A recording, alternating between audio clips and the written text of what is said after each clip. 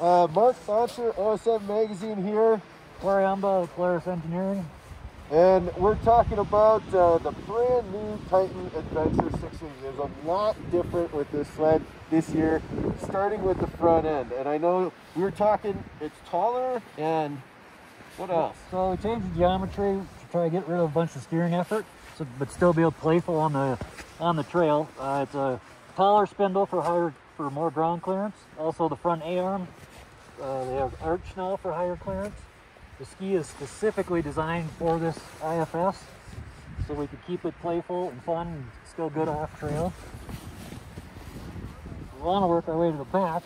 Yeah. Uh, How wide is this track this now? track is a 20 inch wide. Holy jeez. So uh, we changed our articulation now for better reversing, so it, it all articulates up. Get out of the way.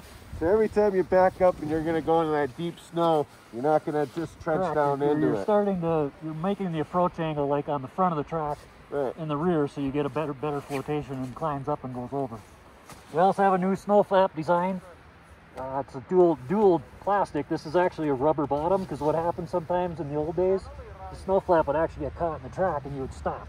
So this is like a wiper now. It just actually the track doesn't grab it. The other times we had, other things we've had, people have asked for removable snow flap.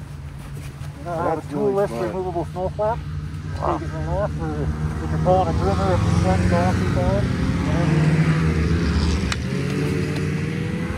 And obviously the Matryx chassis for the first time, Yep. using that really good 650 motor that has been proven for a while now.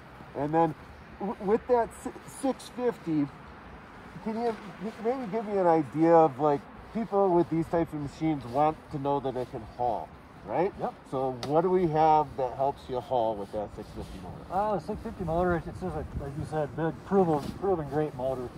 It's lighter weight than the old 800 platform, so it, again helps the sled be more playful.